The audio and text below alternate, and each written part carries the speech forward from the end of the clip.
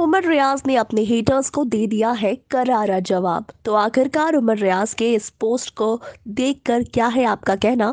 चलिए आपको बताऊँगी क्या है पूरी खबर। आपको बता दूँ कि लगातार उमर रियाज के एविक्शन के बाद से जनता की नाराज़गी बिग बॉस के प्रति देखी गई है। जनता बिल्कुल भी उमर रियाज के एविक्शन से खुश नहीं है। उमर रियाज के एविक्शन को अनफेयर बताया गया है। यहाँ तक कि उमर रियाज अपने एविक्शन को काफ़ी ग्रेसफुली एक्सेप्ट करते हुए नज़र आ रहे हैं। उन्होंने बिग बॉस मेकर्स को तहे दिल से थैंक यू कहा है कि इतने बड़े मंच पर उन्हें आने का मौका मिला। लेकिन अब उमर रियाज ने अपने हेटर्स को दे दिया है करारा जवाब और कह दिया है if you will put me down I'll shine rise and conquer तो इस पोस्ट के साथ उन्होंने अपनी एक तस्वीर शेयर की है, जिससे साफ़ ज़ाहिर होता है कि जो भी उन्हें नीचे गिराने की कोशिश करेंगे, वो उतना ही उठेंगे, चमकेंगे और हासिल करेंगे।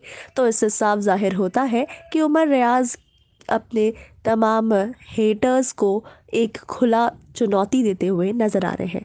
तो इस खबर पर आपके क्या है रिएक्शंस क्या आपने देखा या नहीं उमर रियाज का ये रीसेंट पोस्ट इस पर आप कमेंट सेक्शन में क्या कहेंगे? कमेंट करके ज़रूर बताएँ। तमाम अपडेट्स के लिए बने रहें चैनल के साथ।